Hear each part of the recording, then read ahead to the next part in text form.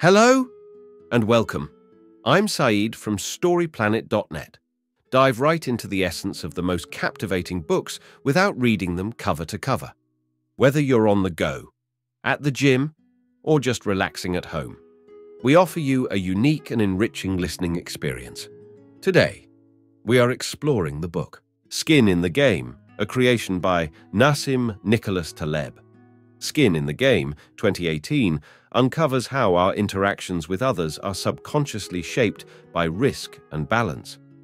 Taleb uses probability concepts to shed light on everyday situations, offering fresh and insightful perspectives on the inner workings of society. Before we delve into these revelations, it's interesting to note that Nassim Nicholas Taleb is a scholar, statistician, and former investment banker, best known for his best-selling 2007 book, The Black Swan. With six key ideas to unveil, brace yourself for a deep dive into this captivating book on storyplanet.net. To start, learn a fairer approach to analyze risk. Factors influencing human interactions include symmetry or balance of knowledge and manipulation, as well as the element of risk. Understanding who knows more and the stakes involved help determine the dynamics of a situation. These questions dictate the level of involvement or risk a person has in the interaction, affecting the desired outcome. The text will delve into how these factors impact various scenarios, including the dynamics of minorities versus majorities, societal views on wealth, and employee loyalty to companies. Key idea number one, asymmetry of information between buyer and seller is considered morally wrong the ancient Roman myth of fishermen serving inedible turtles to the god. Mercury teaches a lesson about deceit in sales pitches. It warns against disguising sales tactics as well-intentioned advice, a practice still observed in modern commerce. The story serves as a cautionary tale about the ethics of concealing important information when making a sales pitch.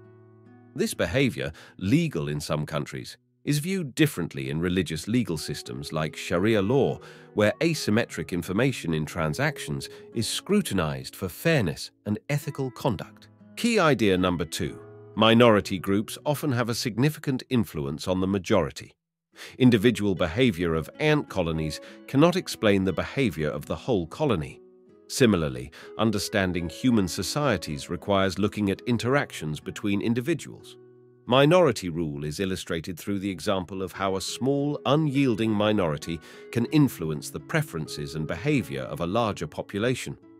In consumer behavior, the minority's inflexibility often has a larger impact on the majority's choices.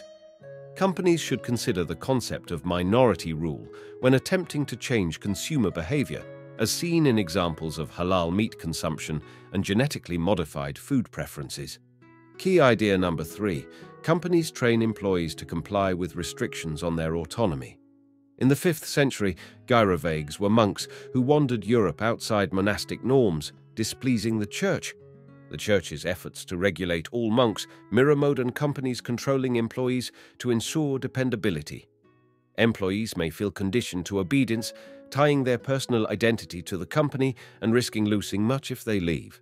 This can lead to a sense of loyalty that may challenge personal freedom. Key idea number four, society admires rich entrepreneurs, but resents wealthy bureaucrats.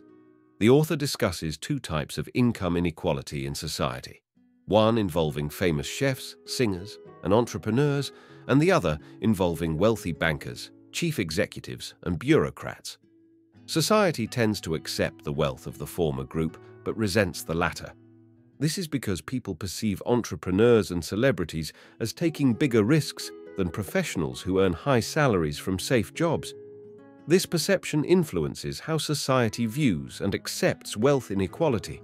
This logic is exemplified through the popularity of Donald Trump among working-class voters. Key idea number five, success in a profession can be determined by either your skills and capability or your public perception and image. The text discusses the importance of professional competence over image in certain professions. In the medical field, where risk is high, competence outweighs appearance. However, in professions like CEOs, where risks are lower, image often matters more. This is illustrated by the example of Ronald Reagan becoming president based on image rather than objective competence evaluation. Key idea number six. There is a correlation between wealth and being more easily exploited due to a tendency to care less about spending.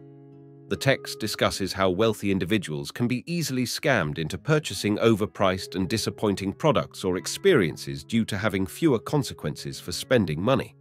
The author highlights an example of dining at a costly restaurant where the food was unsatisfactory, showing how the wealthy can be misled into luxury purchases without considering their true preferences. The piece suggests that salespeople take advantage of the rich, leading them to make choices based on external influences rather than personal desires, such as buying massive secluded mansions when they might have been happier in more vibrant neighborhoods. Ultimately, the text argues that the rich can fall prey to scams and manipulation due to their wealth providing a safety net against financial risks, leading them to make purchases that may not truly align with their preferences. In conclusion, the key message of the book is that information, risk, and preferences impact behavior and outcomes. Understanding stakeholder knowledge and risks is crucial the advice includes evaluating how risks are measured, such as in medical decisions, considering short and long-term outcomes. Further reading is suggested. Anti-Fragile by Nicholas Nassim Taleb, which discusses how unpredictability and volatility can lead to improvement, challenging society's trend of smoothing out life and interfering with systems like the economy. Thank you for listening to this summary. If you enjoyed this exploration, we invite you to discover other fascinating books on StoryPlanet.net. Don't wait any longer. A multitude of books, stories, and knowledge await you there. See you soon on StoryPlanet.net.